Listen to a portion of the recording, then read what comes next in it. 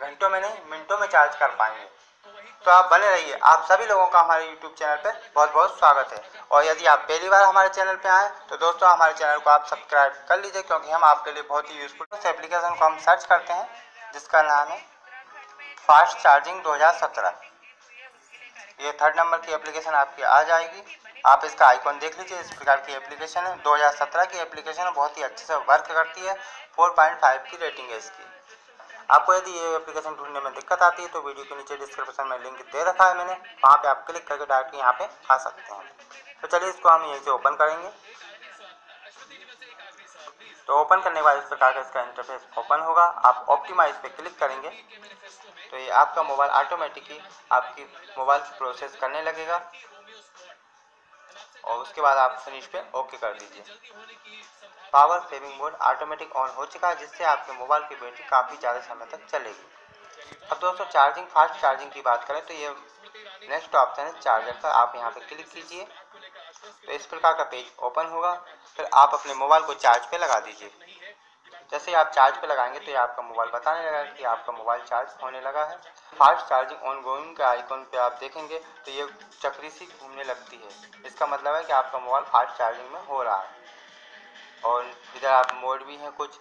Saving mode slip mode तो आप ये सेविंग मोड पे ही रहने दीजिए इसको। डिटेल में कुछ बताया गया है कि आपके मोबाइल की बैटरी कितने समय तक चलेगी वीडियो अट्ठारह घंटे तक म्यूज़िक कितने तक, जो आपकी बैटरी बची है उसका टाइम बता रहा है और टास्क कलर के अंदर दोस्तों, आपके मोबाइल के अंदर जितनी भी एप्लीकेशन होंगी, उनको आप यहाँ से क्लिक कर सकते हैं, यानी कि स्टॉप कर सकते हैं। इसमें काफ़ी सारे ऑप्शन दिए हैं, लेकिन आपको कुछ नहीं करना है, आप तो डायरेक्ट चार्जिंग पे लगाइए और अपनी मोबाइल की बैटरी को फास्ट चार्जिंग कर लीजिए।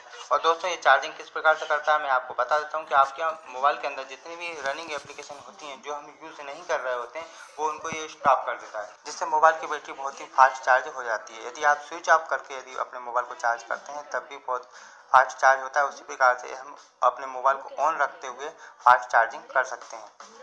दोस्तों अब जो लेटेस्ट मोबाइल आ रहा है, उनके अंदर ये फीचर ऑलरेडी आता है, जैसे कि पावर सेविंग मोड और मोबाइल को फास्ट चार्जिंग करने वाला ऑप्शन लेटेस्ट नए नए मोबाइलों में आ रहा है, लेकिन यदि आपके मोबाइल में ये वाला फीचर्स नहीं है फास्ट चार्जिंग का और पावर सेविंग मोड का तो इस एप्लीकेशन की मदद से आप अपने मोबाइल को स्मार्ट बना सकते हैं।